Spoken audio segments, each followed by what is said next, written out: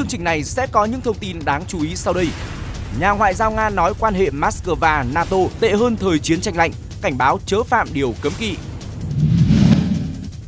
Binh sĩ Nga chế thiết giáp của Đức không phù hợp ở chiến trường ở Ukraine. Nga tìm thấy công nghệ chương trình sao hỏa của NASA trong drone Ukraine. Ngay bây giờ là nội dung chi tiết, mời quý vị theo dõi.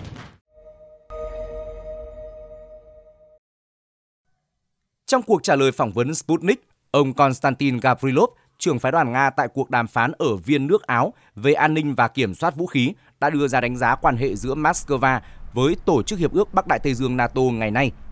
Ông Gavrilov nêu rõ, trong khái niệm chiến lược của NATO được thông qua tại hội nghị thượng đỉnh ở Madrid, Tây Ban Nha vào năm 2022, Nga được coi là mối đe dọa trực tiếp và quan trọng nhất.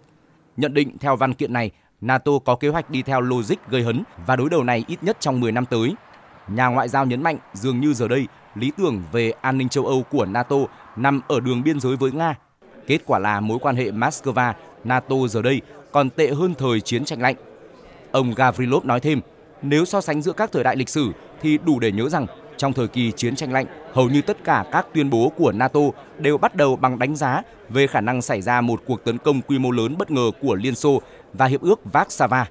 Đề cập những xôn xao về khả năng phương Tây gửi quân tới Ukraine, trưởng phái đoàn đàm phán Nga nói rõ nếu NATO và Liên minh châu Âu EU muốn thử thách độ vững chắc của Moscow bằng cách dỡ bỏ điều cấm kỵ về việc này thì nên nhận thức cho rõ ràng rằng nước Nga đã sẵn sàng cho mọi diễn biến. Nhắc lại lời Tổng thống Nga Vladimir Putin về việc sẽ không có ranh giới đỏ trong quan hệ với các nước từng tuyên bố tương tự nhằm vào Moscow, ông Gavrilov lưu ý phương Tây đã được nhiều lần cảnh báo rằng mức độ liên can ngày càng gia tăng vào cuộc đối đầu vũ trang sẽ tiềm ẩn khả năng xảy ra đụng độ quân sự giữa các cường quốc hạt nhân với những hậu quả thảm khốc mà trách nhiệm về chúng sẽ nằm ở phía họ. Trước đó hồi đầu tháng 3, NATO và Nga đã biến vùng biên giới thành nơi phô diễn sức mạnh vũ khí của hai bên. Trong khi NATO di chuyển tên lửa phòng không Patriot đến gần biên giới Nga, hạm đội Baltic của Hải quân Nga đã tổ chức huấn luyện tấn công bằng tên lửa Iskander-M ở vùng Kaliningrad, giáp với biển Baltic. Bộ Quốc phòng Liên bang Nga cho biết các đơn vị thuộc hạm đội Baltic đã tiến hành huấn luyện về kiểm soát hỏa lực tấn công của hệ thống tên lửa chiến thuật và kế hoạch Iskander-M tại một trong những cơ sở huấn luyện ở khu vực Kaliningrad. Bộ Quốc phòng Liên bang Nga cho biết các đơn vị đã thực hiện thành công đợt huấn luyện và đáp ứng tất cả các tiêu chuẩn cần thiết. Hệ thống tên lửa chiến thuật và kế hoạch Iskander-M được thiết kế để tấn công các mục tiêu của đối phương ở chiến trường, gồm hệ thống tên lửa, hệ thống rocket đa nòng, pháo tầm xa và vị trí chỉ huy, trung tâm thông tin liên lạc cũng như máy bay, trực thăng. Hệ thống này có độ chính xác và khả năng cơ động cao, có thể tiêu diệt nhiều mục tiêu khác nhau trong khoảng cách lên tới 500 km. Kaliningrad hiện là một trong 46 khu vực hành chính của Nga, nhưng là khu vực duy nhất không có biên giới trên bộ với các khu vực khác của nước này mà giáp với biển Baltic về phía Tây và nằm kẹp giữa Litva, Ba Lan, hai nước thành viên NATO. Với vị trí địa lý của mình, Kaliningrad được coi là một hàng không mẫu hạm không thể chìm, bổ sung đáng kể vào chiều sâu chiến lược của Nga. Vì vậy, các cuộc tập trận quân sự ở Kaliningrad là một tín hiệu cho thấy khả năng của Nga và là một cách để gây thêm áp lực lên phương Tây.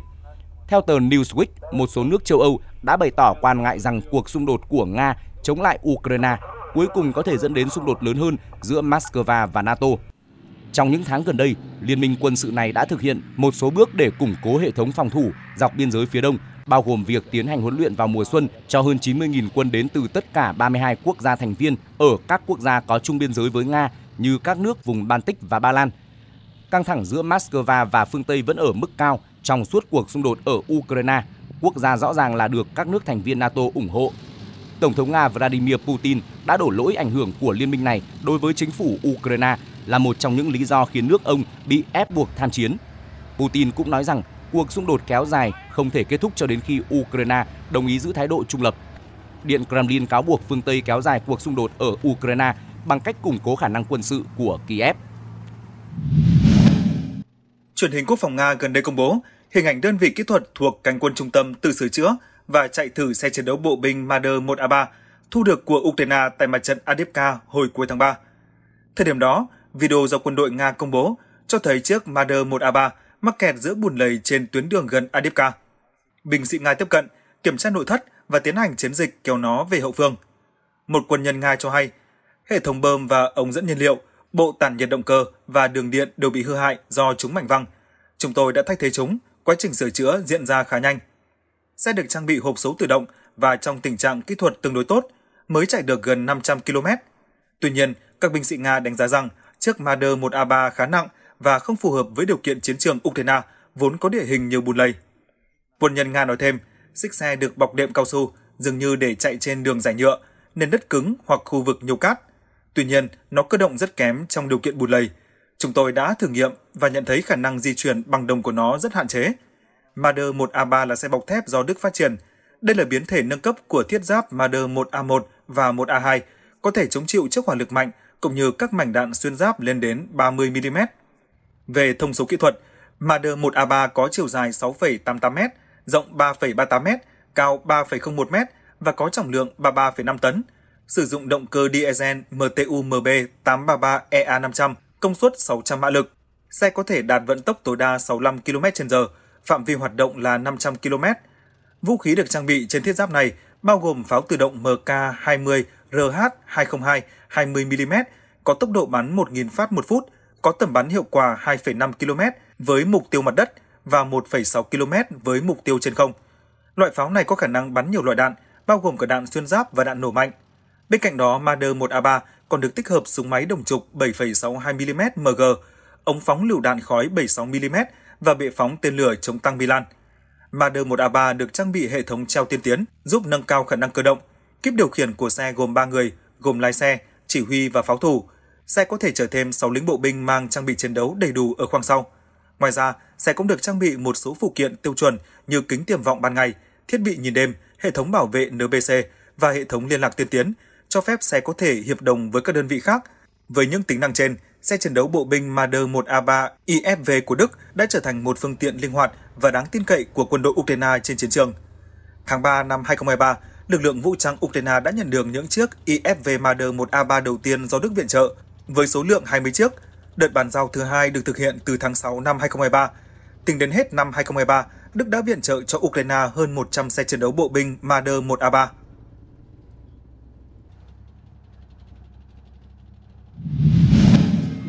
Ông Dmitry Kuziakin, Giám đốc Trung tâm Phát triển các giải pháp tích hợp không người lái cho biết, các chuyên gia đã tìm thấy pin và hợp kim nhôm được cơ quan hàng không và vũ trụ Mỹ NASA sử dụng trong chương trình sao hỏa khi nghiên cứu máy bay không người lái của Ukraine.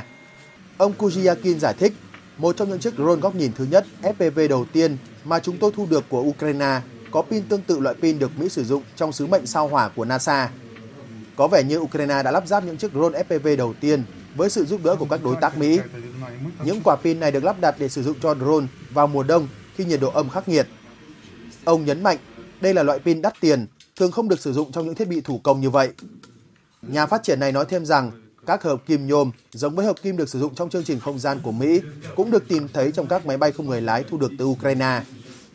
Theo ông, những đặc tính đặc biệt của hợp kim này rất quan trọng trong không gian nhưng lại vô dụng đối với máy bay không người lái thông thường. Ông Kuziaki nói, hợp kim nhôm bao gồm 70% hợp kim thông thường và 30% các chất phụ gia vi lượng đồng căn khác nhau, giúp nhôm có độ bền ổn định trong điều kiện chân không. Và đó là lý do tại sao UAV FPV khá thủ công lại cần đến thứ nhôm siêu cấp như vậy. Tuy nhiên, ông cho biết nhờ quá trình này, các kỹ sư Nga có thể thu được rất nhiều thông tin và dữ liệu hữu ích. Trung tâm tích hợp giải pháp không người lái của Nga là nơi xử lý toàn bộ chu trình của các ứng dụng FPV, từ sản xuất đến huấn luyện và điều khiển drone. Trong một diễn biến liên quan, thời gian gần đây, quân đội Nga đã sử dụng drone có khả năng tác chiến vào buổi tối, còn gọi là sát thủ bóng đêm, để tập kích lực lượng Ukraine ở tiền tuyến. Hetman Ivan Vyhovsky, một binh sĩ trinh sát đường không thuộc Lữ đoàn cơ giới độc lập số 58 Ukraine cho biết, vào giữa tháng 3 vừa qua, lực lượng Nga đã triển khai drone sát thủ bóng đêm với tần suất lớn theo hướng thành phố Uleda, tỉnh miền đông Donetsk. Các mẫu drone này của Nga được trang bị hai loại camera, gồm camera nhạy sáng có thể quan sát trong điều kiện ánh sáng tối thiểu và camera ảnh nhiệt có khả năng nhìn rõ lực lượng Ukraine trong bóng tối thông qua tín hiệu nhiệt phát ra từ cơ thể hoặc khí tài của họ. Lực lượng Ukraine hiện thường xuyên di chuyển vào buổi đêm để giảm thiểu nguy cơ bị đối phương tập kích bởi drone thông thường. Song sự xuất hiện của các sát thủ bóng đêm khiến chiến thuật này không còn hữu hiệu. Tuy nhiên, phía Ukraine cũng sở hữu công nghệ sản xuất drone trang bị camera ảnh nhiệt, song mức giá quá cao của loại khí tài này khiến chúng không được Kiev coi là ưu tiên. Phát ngôn viên của nhóm tình nguyện Escadron, nhà sản xuất drone FPV lớn ở Ukraine cho biết, vấn đề chủ yếu là chi phí sản xuất. một chiếc drone FPV thông thường có giá 500 đô la Mỹ, trong khi loại tương tự được trang bị thêm camera ảnh nhiệt có giá cao hơn gấp 5 lần. Trong khi đó, Nga có đủ năng lực về công nghệ và kinh tế để có thể sản xuất loại drone này trên quy mô công nghiệp. Việc trang bị được công nghệ nhìn đêm với giá thành rẻ để trang bị cho drone sẽ giúp lực lượng Ukraine có thể sản xuất và triển khai sát thủ bóng đêm với số lượng lớn hơn trên chiến trường, qua đó rút ngắn và bắt kịp ưu thế của quân đội Nga trên lĩnh vực này.